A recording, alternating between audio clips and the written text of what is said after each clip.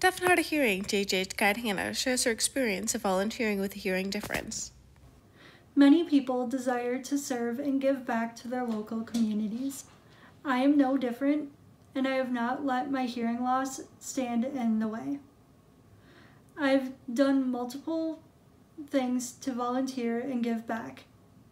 For example, I volunteered with my family at Feed My Starving Children, packing and distributing meals for people who experience hunger globally. One thing that I typically do is help bag soy or rice.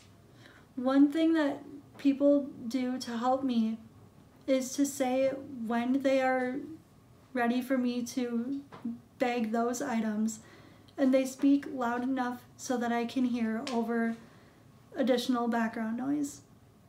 Additionally, I've also volunteered with my sister at Valley Outreach, which is our local food shelf and clothing closet.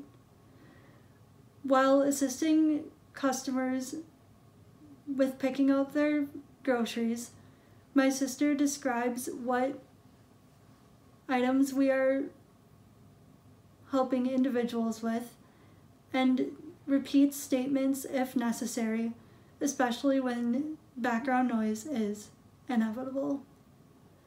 I encourage you to give back and volunteer in whatever capacity you are able and do something that you are passionate about. Don't let your hearing loss interfere with your ability and desire to give back to your local community. Meet with Hannah today. Email hannah.harriman at lifetrackmn.org.